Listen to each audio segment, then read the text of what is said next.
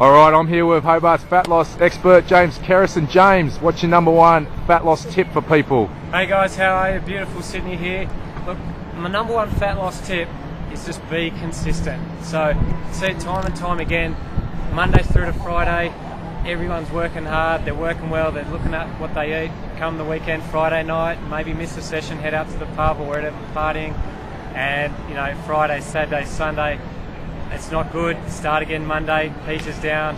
You get through this cycle where you, you think you're working hard because you're doing it right most of the time, but the weekend's undoing all your stuff. So stick through, set short goals. If it's got to be seven days, 14 days, build from that, but make sure you get steady and consistent training, eating, and that's where you're going to find the real results kick, kick in instead of just spinning your wheels week in, week out.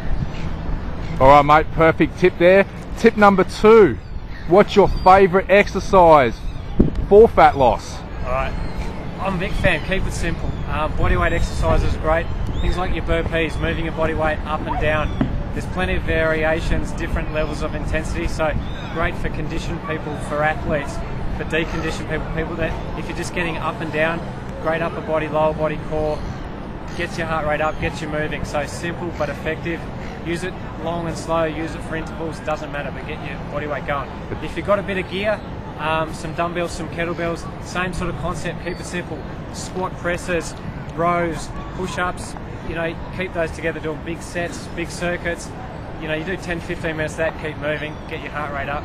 It's going to be achievable if you're on the road. If you're going to miss a session, just do body weight, bit of lightweight, and then you're done. Perfect. Burpees are a great exercise, mate. Finally, what's your number one super fat loss food for people to eat that they should be eating Look, all the time? I'm going to say it again. Keep it simple. You can't go wrong. Water and tea for drinks. You know, have your coffee, but don't overdo it. Stick away from sugary, syrupy drinks, fruit juice, and soda.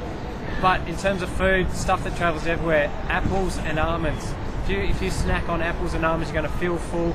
They're good for you. Heaps of fibre, good fats, good carbohydrates, good proteins. Have your water in between your meals. Then stick to your, your basics. You know, fruit, veg, lean proteins. But if you snack on almonds and apples, a bit of water, you're not going to have those cravings.